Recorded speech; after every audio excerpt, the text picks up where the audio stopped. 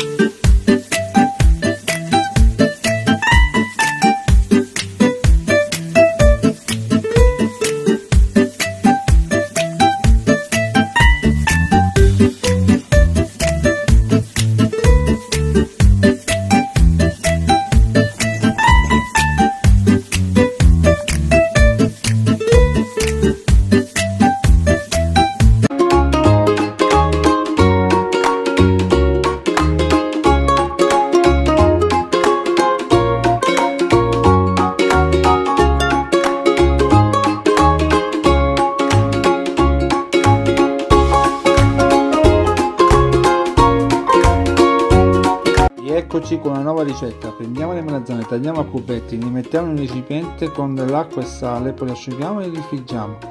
Tagliamo il prosciutto cotto a cubetti insieme alla provola, li mettiamo in una ciotola insieme alle melanzane, poi con il grattugiato mescoliamo. Tanto l'acqua che bolle mettiamo i conchiglioni, poi facciamo una salsa semplice con aglio, olio d'oliva, polpa di pomodoro, origano, basilico e sale, scoliamo i conchiglioni, li riempiamo e li mettiamo in una teglia con della salsa di pomodoro. Riempiamo la teglia e compriamo con la salsa di pomodoro. Poi ci mettiamo il basilico, provola, il grattugiato, cattasagnolo in forno per 15 minuti a 180 gradi e poi mangiamo. Au revoir! Prendete i funghi congelati asciugati in padella con aggiunta di sale. In un'altra padella aggiungete olio d'oliva, aglio, i funghi già asciugati, rosolateli, aggiunta di robbiola, prezzemolo e un'aggiunta di mestolo di acqua di cottura. Mescolateli, sugo pronto. Acqua che bolle, sale, i tortelli, cuocete per qualche minuto, mescolate 4 sattelli. Una volta amalgamato impiattate una spolverata di prezzemolo forchettate e magnate. Buon appetito e arrivederci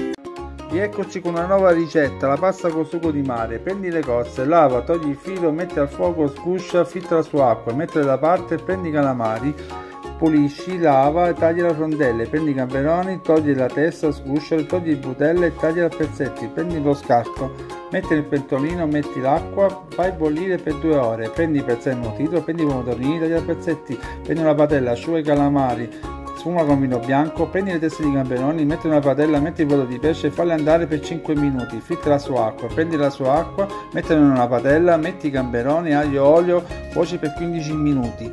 Mettili da parte, nella stessa padella metti l'aglio, olio, pomodorini, gamberi precotti, calamari e copri e cuoci per 15 minuti. Metti le cozze e gamberoni e cuoci per 5 minuti. Acqua che bolle, sale, pasta, il sugo è pronto. Metti la pasta, fai due pesatelli. Metti prezzemolo, forchetta e magna. Eccoci ragazzi con una nuova ricetta ligure. Prendiamo tanto tanto basilico, lo laviamo e lo asciughiamo bene e lo frulliamo con frullatore, se avete un mortaio ancora meglio. Poi ci mettiamo del sale grosso, dell'aglio, pinoli, olio a filo quanto basta, lo frulliamo finché diventa una bella crema.